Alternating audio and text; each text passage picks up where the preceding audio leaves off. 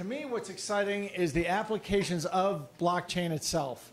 And I'm going to show you one that's really exciting, including a piece of paper that I, that I spent $30 million to get, a piece of paper I'm going to show you here. So I hope that keeps your attention. Uh, October 23rd, 2008, the world was melting down. They call Alan Greenspan out of retirement to go before Congress and explain what is happening. He says this thing that the left has jumped on, not really quite understanding the full picture. There are additional regulatory changes that this breakdown of the central pillar of competitive markets requires in order to return to stability, particularly in the areas of fraud, settlement, and securitization. So you may remember there were New Yorker articles about, oh, Alan Greenspan says markets don't work and stuff like this. Yeah, that's the first part of the sentence. The second part, fraud, settlement, and- securitization. Fraud was things like Bernie Madoff, securitization, mortgage-backed securities. This settlement thing has been sort of written out of history. 2008 was a settlement crisis. What happened on that Wednesday? You know, Lehman went broke on Sunday. They didn't do anything. It was on Wednesday morning the settlement system froze. That's been written out of history. Uh, it- it's really so. Why did it freeze? I'm, this document took cost me $30 million to get. Some of you know I was in a long-term fight with Wall Street because starting around 2005, I became convinced and saying publicly there was a bunch of mischief going on on Wall Street, and people were being ripped off. I couldn't believe I had trouble. Uh, getting i thought it was like the pelican papers when you when julia roberts writes up the brief and exposes it this the whole world swarms in well it turns out that it doesn't because so much of the world was bought off and corrupt and the people who were supposed to do their jobs were uh, well you'll see what they were in on so goldman sachs the, we were in this lawsuit and they were forced to, after eight years of fighting to turn up how big is this obscure thing called securities lending? Securities lending, there's a desk within all the big banks called securities lending. You'll understand in a few minutes what it does. How big was it? I knew it was at least 5%. I thought it might be 15%. 15% at Goldman Sachs would be quite a large number. Uh, heard rumors it might be as big as a quarter of Goldman Sachs came from this thing called securities lending. People didn't know much about 10 years ago. Well, the answer turns out to be 75%. 75% of Goldman Sachs' revenue comes from an activity that they have kept up that has been obscured from the public. It's called securities lending. And this is why it cost me $30 million to get that piece of paper. 75% of Goldman Sachs prime brokerage, you know, there's the hedge fund and there's the prime broker. 75 per- Goldman Sachs is a securities lending desk with the name of a bank on the door. And this is a big secret, it has been a big secret. Uh, and it turns out that of that 75%, 76% comes from lending a particular class of stock called a hard to borrow stock. So it turns out that this is Goldman Sachs' business. And I think the same is true for the other five big prime brokers on Wall Street. Uh, no reason to think this is any different about that's three quarters of their revenue. And by the way, since the securities lending desk tends to be a couple small number of guys named Joe and Tony and Louie from Staten Island, the expenses are very, very tiny. So while it's 75% of the revenue, my guess is it's about 100 and 100 to 150% of all the profit of prime brokerage on Wall Street comes from this area of people that's this really obscure little corner of Wall Street. This is what it, how it's supposed to work. Securities lending you, you may, you know what short selling is probably. Short selling is when somebody, you're always told people borrow stock and then they sell it. Well, that's, that's the idea. But in reality, in our market, what all they have to do is locate stock that they'll be able to borrow, then they can sell, and three days later, when it's time to li- deliver, they get the stock that they located and de- de- deliver. So it's really the whole thing comes down to locates, this thing called locates. Did they get a locate on stock before they short sold it? So imagine a pension fund has some stock. They bank, they custodian it with a large prime broker. The large prime broker sees that there's a short seller out there who wants it to short sell. They will give a locate. they will tell that short seller, okay, you're good. You want to sell 100,000 shares of lumber liquidators. Go ahead. We have located the stock for you. You can go ahead. And so I'm depicting that as the, the transfer of the locate is this symbol you see there. And let's say the short seller pays $20 for that. Well, believe it or not, 10 years ago, what I started sort of going Superfly TNT on Wall Street about was I found out in 2004 how little there was to keep a prime broker, say in this case, from uh, when they see that person that they can collect, that one short seller they can collect $20 for, there's surprisingly little to keep them from telling other short sellers, you know what, you have, you're good for locates too. And collecting from each of these other short sellers payment for this. Well, so more short sellers end up with locates and then can sell into the market than there is actual shares. And you'd be amazed how little there is in the systems to prevent them from doing this. And we have the SEC on tape in a sort of quasi public back office conference of Wall Street scolding a couple guys from Goldman and Morgan in front of the crowd saying, you know, basically you have to work with us. We do these audits into your locate trails, and when it gets back to where you're supposed to have recorded whose stock it is, your guys have recorded Mickey Mouse or three dots or something like that. You know, work with, this is the director, this is very high up in the enforcement arm, sort of pleading, scolding with Goldman and Morgan. Uh, in part because of the attention we started bringing to this about 10 years ago, the pension funds started getting smarter and saying if you're if you're making money loaning our stock out, we want a piece of the action. We want you to kick back 30% to us. And so how that should work is the prime broker gets their 20 and 6 goes up to the pension fund. Well, what the pension funds figured out they, what the prime brokers figured out they could do in that case when they is they they go to a friendly prime broker in between and they say we'll give you the locate for let's say two dollars.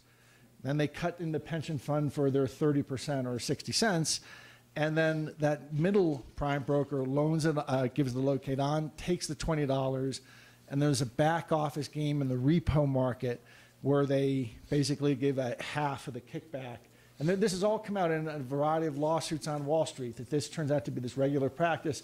There's this kickback done in, in the overnight repo market that to, to equalize the cut. So that's what really happens. I just refer to this as, as mischief. Uh, there are amazingly few controls, no controls, to keep this going on in the back offices of Wall Street in the last decade. Uh, and so that is why in 2008, Alan Greenspan was naming settlement as one of the parts of the crisis because all of this craziness that had been going on, one of the effects is a, a bunch of fake stock. A bunch of stock enters the market that's not really stock, that doesn't really, isn't backed up by anything. As a result of all this, last month, uh, some large pension funds across the country sued the six big investment banks Goldman, Morgan, JP Morgan, State, UBS, and Citi, I think. And this may be the first trillion dollar lawsuit in US history. What the banks have realized, I mean, what the pension funds have realized is they're in this crisis if you're not paying any attention. The pension fund system around America is starting to break. The New York Teamsters pensions just became the first to run out of money but it's starting to crack everywhere in Illinois, New Jersey, the Dallas police. Uh, all these pension funds around this country are starting to break. Turns out uh, that they have been, and the pension fund crisis can really come down to this, this number. They've been assuming about a 7% return on average, American pension funds. In reality, they make 4% over the long run, and that difference translates into a big pothole that someday expresses itself. And that's what's happening now, and why pension funds are going broke. Of that 3%, about 2% has been thieved from them. It has been thieved from them in that game I just showed you, and it is turned into you take 2% out of those pension funds, they, they should have been receiving the, the fact that they're beneficial owner of those stocks, as they've been lent out, that's been generating what could have been an extra 2% return for those pension funds. Instead, it's been turned into 75% of the revenue of Wall Street.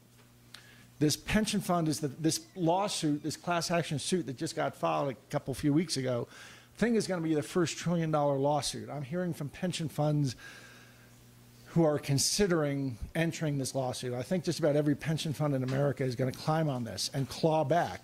They realize correctly that they are breaking, in part, this, this pension fund cri- crisis could have been averted and can still be averted now if that 75% can be clawed back from Wall Street. Now, it just so happens there's a great thing that will let us do that. It's called blockchain.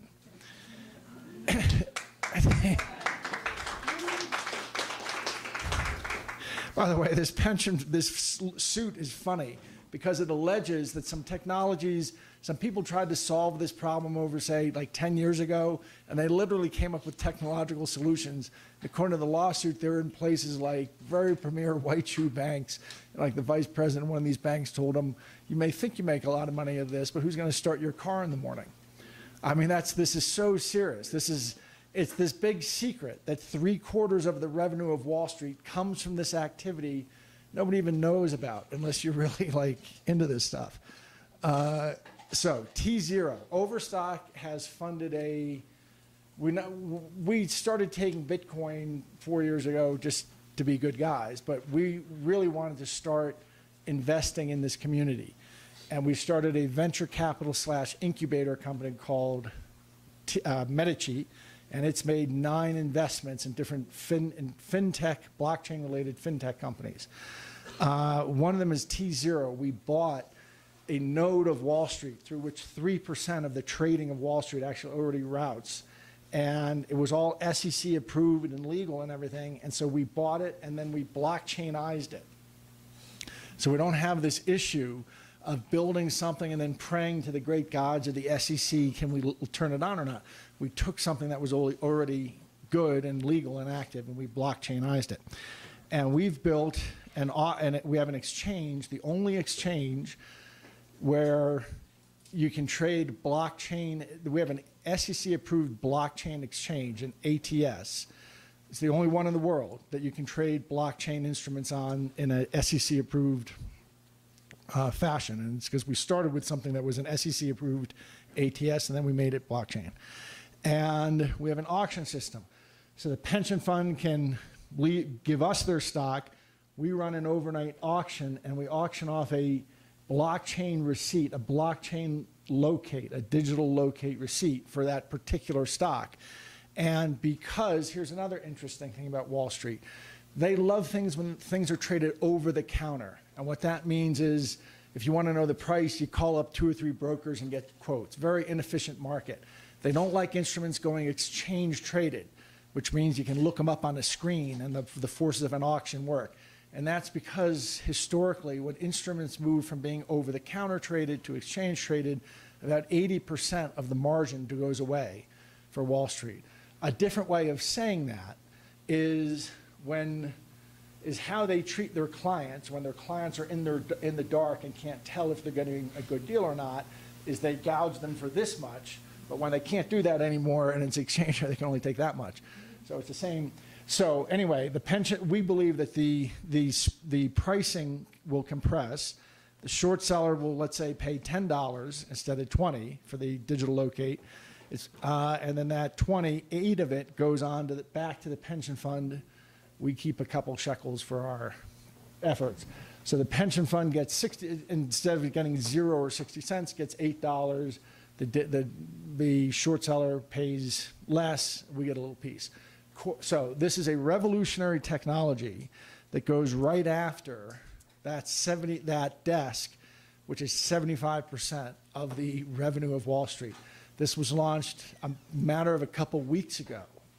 We have we have two platforms integrated now with over 5,000 people now able to get their digital locates receipt from us and we have billions of dollars on the supply side.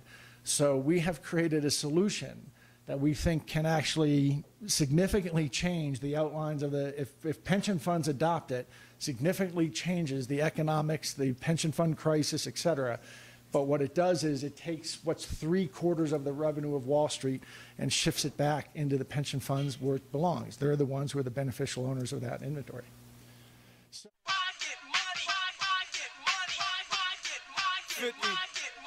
Money. I